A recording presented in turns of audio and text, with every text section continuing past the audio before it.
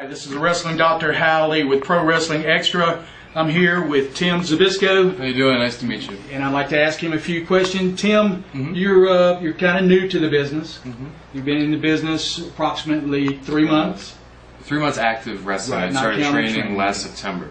Yeah, let's talk about where you're training. You're training at uh, Team Vision Dojo. Uh-huh, in Orlando, Florida. It's at uh, 6923 Narcoossee Road. It's uh, Narcoossee and Lee Vista. But we run shows out of there first Saturday of every month. Next one is July 7th. And uh, it's a great place to train. You get very hands-on service. Uh, you know, the training is top-notch. The school teacher, Chasen, has been there for about in the business for like 13 years, 13, 14 years or something like that. There's Chasen It's very good, yeah. And we have, uh, you know, besides myself, we have uh, Scott Hall's kid, Cody Hall's down there. Uh, Santana trains there. I mean, both very talented people. You know, so it's a it's a great place to be. It's a good school. It's in the Orlando area. Um, it's a great place. You should check it out. And it's like I believe in wrestling.com and in Facebook, Twitter, all that stuff. Yeah, yeah, that's really. Let me tell you, uh, I read your Facebook page. Let me tell you, that is the greatest Facebook page I think I've ever seen. To get to know you, to Yeah. understand you, to to feel what you went through. Uh, you know, everybody thinks just because you are the son of a great professional wrestler it's going to be so easy for you, but it wasn't. No, it's um, the Facebook page is the way it is because I want to I want people to know who I am and why I'm doing what I do, and you know a lot of people just give me friendly flack for being like, oh, your dad's in the business, and it's kind of a joke, and with the guys, it's funny, but um, with my dad, is he's very supportive, but he wants me to go out there and do it myself and be like, you, know, you have to be good at it, you have to want it, you have to work at it because my name's only going to get you anywhere it gets you, but you have to, you know, you know, uh, deliver when you get there, and so that it's become almost fun. If anybody challenges me just based on my name alone, it's great to show them my athleticism and my skills on the microphone. I have a I have a blast doing it. I love it. We had a really good match tonight. Yeah, it was it was uh, it was just tip of the iceberg though. Hopefully next uh, next show we'll see what goes on there too. Tonight's match was good. I've, had good opponents. Uh, worked 11 matches so far, and people joke because they think if you still know your number, you haven't worked anything. Because they're like, oh, I've done a thousand. I have no idea how many I've worked. You know, like uh, 11. Uh, there's people that told me, you remember when you worked so and so? And I go, no. Yeah, and you're like, what? What city? Memphis. Okay.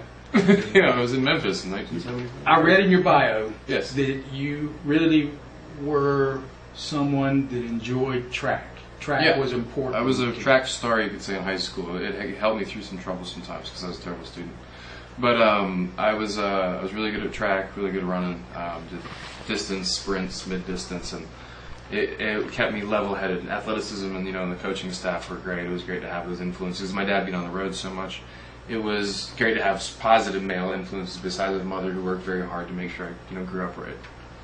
Right. I know at one point, you know, you said that you, you didn't get to see your dad for 15 years. Yeah, he was on the road a lot. You know, he did wrestling, and now doing it, I understand more of why. I mean, it's it's you're on the road, you have to live a certain lifestyle, and the business has changed. It's not on the road so much anymore, unless you're with a couple companies. But it's a, it's you know, it's it's it's understandable why he was on the road, but he took care of me. He was you know, he'd send money, he'd send cards.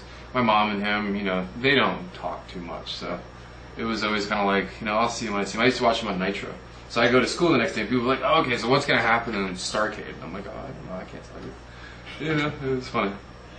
Uh, on your Facebook page, it was uh, part of a book you written. How did the book The book is a fictional story I wrote. It's just a sci-fi story. I've studied philosophy, religion, um, uh, political science, uh, mythology for a long, long time. You know, and I wanted to write a book that touched on all these subjects, but also had great story and action and drama and suspense. And it led to the book because I've always just had a lot of creative energy. So it's just come out like in a in a fountain this past few years, you could say. Well, I tell you what, I was impressed. Thanks. You do. I do a little bit of writing myself. I've Oh yeah. I've, I've written. I've got uh, about five books started, Oh yeah. and I have three of them for my ten-year-old daughter. She's killing me, saying, "Write another book." I wrote one. She wants me to write another book, Daddy, and I'm Yeah. going.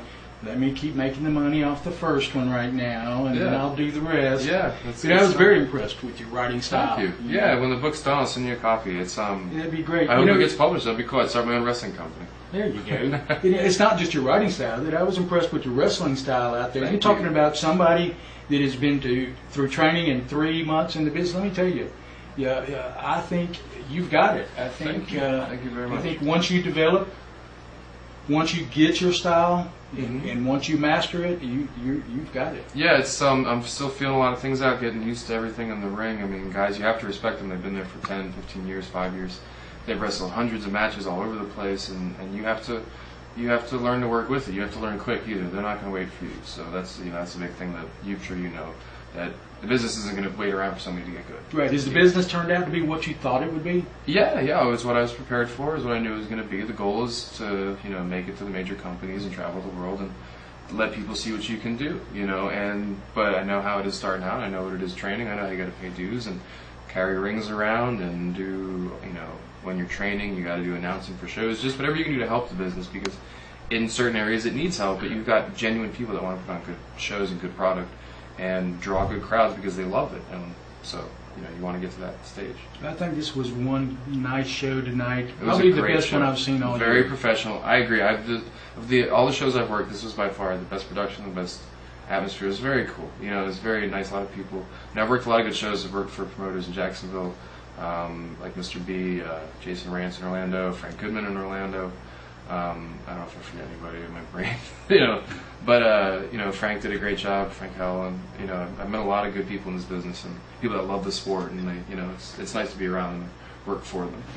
Good. Well, Tim, thank you for doing this interview with me. You're. I appreciate it. And, um, you know, I'd like to do another interview with you one time. Yeah. We'll sit down and in the just, future when we figure out where I'm at. more. Yeah, yeah, You we know. to see stages. Yeah. Uh, thanks a lot, really. You're welcome, sir. Uh, this is the.